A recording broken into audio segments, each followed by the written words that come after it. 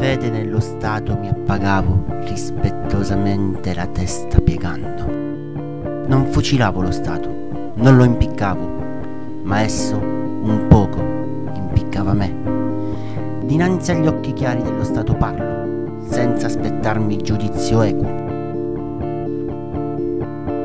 Di simile perfidia, indegno, poiché io stesso mai perfido fui, Stato, ho cercato di amarti, volevo esserti utile sul serio ma sentivo che sparivo del tutto se, come al bastone il cane, ti ubbidivo. Stato, tua arroganza, servilismo sempre, regno di piaggeria, delazione, ostilità, del senso di patria, di quello di Stato nell'uomo, convivenza.